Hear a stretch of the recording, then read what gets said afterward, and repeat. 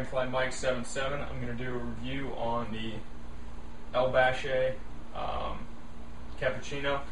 It's made by the same people that make Nakhla. It is Nakhla. I don't know. Yeah. Um, the El Bache is, it's got ultralight in the corner, which means that it's washed. This is a lot lighter than a lot of the other Nakhlas on there, or out there on the market. Um, I'll take a poke for you guys.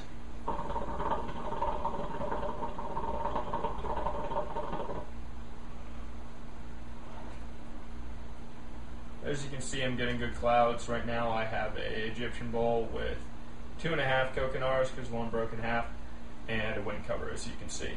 Um, it is smoking very, very well.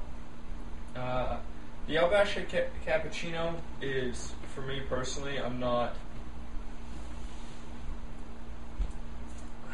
It's not that I don't like it. It's just that I don't think it's a very good coffee flavor. Um, I don't know if it's me, but I feel like it's a lot cooler. Um, I feel that it almost has a mint taste to it, which is real weird. Um, I don't know if my girlfriend gets that. Do you get that? No. She doesn't get that, so um, she absolutely loves the stuff. She thinks this is her second favorite. So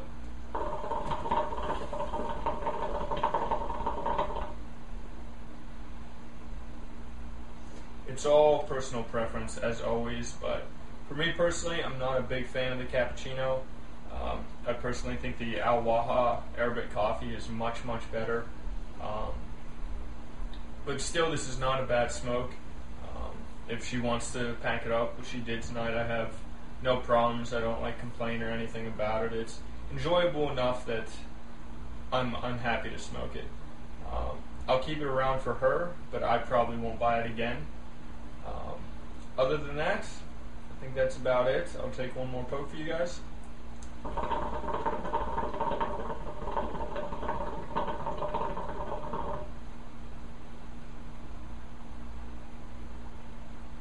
Good clouds from it. Starting to get a little more flavor from it as it starts up.